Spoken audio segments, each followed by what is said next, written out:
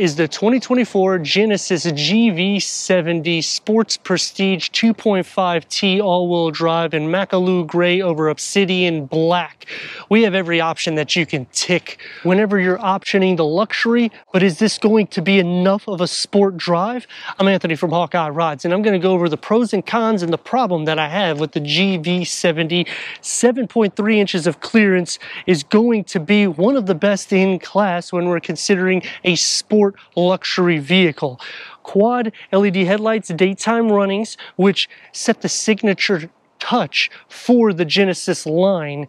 The grille gets an active grille shutter with the gloss black elements surrounding it is going to get the smoke gloss black and the lower trim gets the gloss black that just makes it more athletic. Front and rear parking sensors with the 360 degree reverse camera because we have the advanced package. When you start ticking the box for all of these features, it will escalate the price to the 3.5 twin turbo V6. But what we have housed underneath here is the 2.5 turbocharged inline four cylinder that produces 300 horsepower and 311 pound-feet of torque paired to an 8-speed automatic transmission achieving 19 mpgs for the city, 26 mpgs for the highway. When you're thinking all-wheel drive, it's actually sipping fuel for the performance that you're getting because it is the best in class with horsepower and torque. And because we have the sports prestige package, we get these 21-inch sport design wheels, Genesis badging for the brake caliper housing two pistons in the front. Gloss black elements are going to surround the lower skirt. But what I like about Genesis is how they pay attention to detail. In the front bumper, you'll notice on the side trim, you get the grille pattern. That carries on into the rear that brushes into the dual exhaust outlets, which one of the most sporty exits in class. And because of that sports prestige package, we also received the smart park assist. And now to use the feature, you just simply lock lock the car, you hold the remote start. It's gonna obviously start, push the P forward, and the vehicle will engage going forward in a straight position.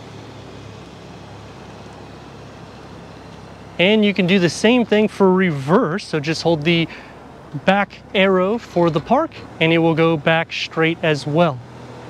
It's a cool feature if you are trying to scare somebody or impress somebody because the vehicle can move by itself simply by pushing the button. Whether you use the feature or not, I kind of like that you still have it because you're not going to get a similar feature to the rivals. You'll also receive the digital key because of that package and towing up to 3,500 pounds because this is all-wheel drive. In the rear, the signature quad LED tail lights and the bumper sits up more so. So even if you're thinking about Infiniti, Acura, Lexus, Volvo, Genesis puts itself in another class because it's competing head on with the Germans with performance and luxury.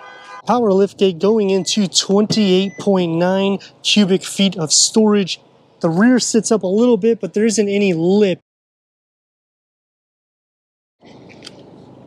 12 volt charger, storage nook, bag holders on both sides, and you split fold the rear bench in the back. So it makes it a lot more easier increasing cargo to 56.9 cubic feet. This is a 2.5 turbo. We need to go inside, start it up, so you can hear that exhaust note.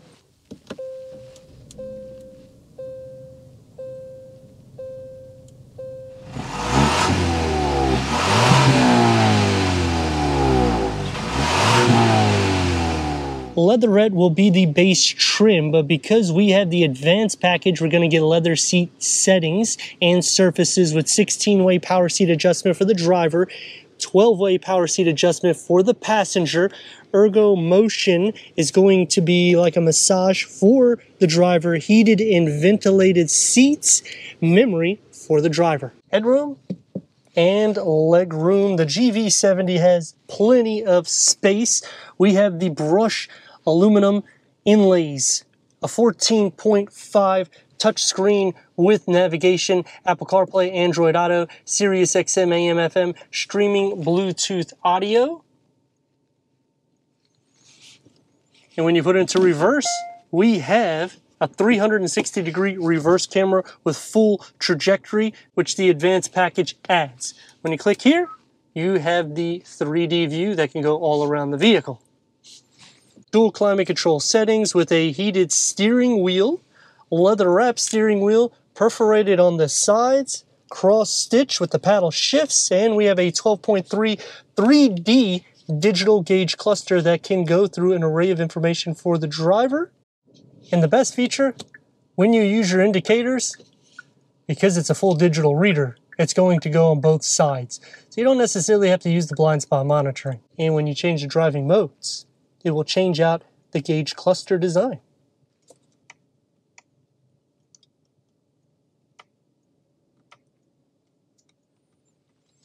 Working into the center with a wireless charging pad, USB ports, and the key fob for the GV70. The rotary knob up front is designed for the infotainment. This is to put it into gear or to engage it. The driving mode select is here and for your volume and turn on and off the audio sound system. It is more sporty, but it opens up with a 12 volt and a little storage tier that you can pull in and out. And on this side, you're gonna notice there's no pass through, which is a con because there's a lot of real estate here. I do like the aluminum pattern, I just wish they would optimize more storage. The door panel integrates into the dashboard, keeping a sporty style with the auto dimming rear view mirror and a large pano moonroof. Going into the Lexicon upgraded sound system, one touch up and down for all the windows, and you get that aluminum trim yet again, soft to touch where it needs to be, and a long storage pocket. For the back seats, headroom, and these recline. So you have a sufficient amount cup holders with armrest. The Prestige package gives us the third climate control, air vents, USB ports, home plug, storage behind both of the front seats. And when you're sitting on the passenger side or behind the passenger, you can adjust this seat up. So it makes it a little bit easier for people sitting into the center or just simply sitting behind them. Manual sunshades also come part of that package and the door is going to have the same materials found as the front except the pocket is going to be a little bit smaller for storage. Sitting into the center is not too bad. You will be sharing some feet, leg, butt, and shoulder space. You will sit up a little bit higher in the center, but headroom is still doable for anyone over six foot tall. Now this is the 2.5 liter turbocharged inline four cylinder with 300 horsepower and 311 pound feet of torque. Like I was saying on the exterior, it's still the best in class at even the base engine variant. They do offer a 3.5 twin turbo V6 with 375 horsepower. It's a lot faster and you're going to see some of the differences if you've already watched that compared to this. One thing right off the bat is it does feel a little bit more heavy with this engine variant, whereas the V6 twin turbo, it feels a little bit more lively and a little bit more athletic. So you can kind of get on it a little bit more so. With this, it has a touch of hesitation, but we're going to see how she does.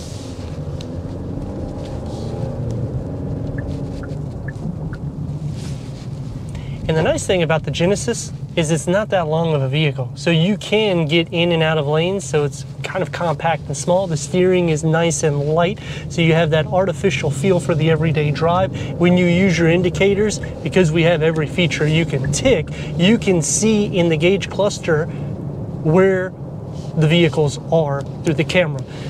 So safety is taken care of, visibility is good. You sit up a little bit higher in this. I dislike that they take away power seat adjustments and the ergo motion seat for the passenger. That is something that, because we're in this luxury line and Genesis is going that extra step, I would have liked to see them go all the way.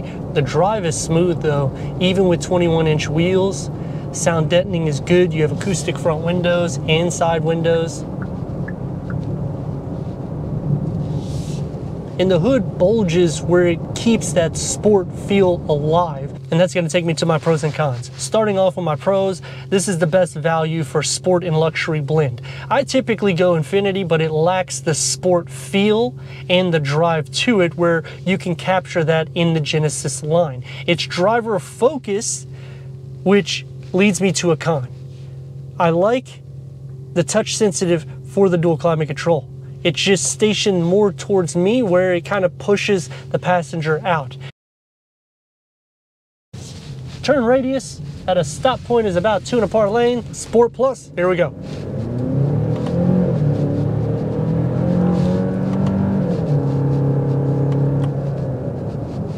It's still quick. I prefer the twin turbo V6, but that's just because I like having that extra power.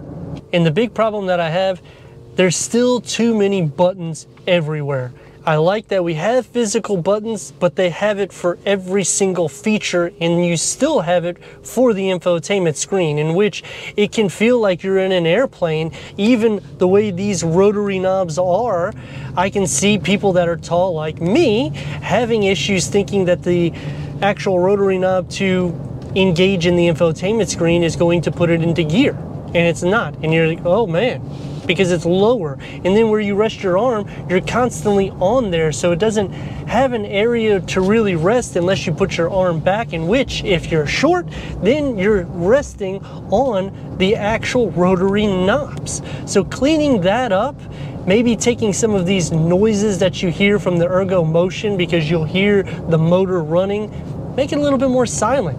When we're going full luxury, we're expecting to have a smooth ride, quiet drive, okay MPGs with some performance behind it. They tick the box for everything. And when you use the massage seat function, listen to the motor.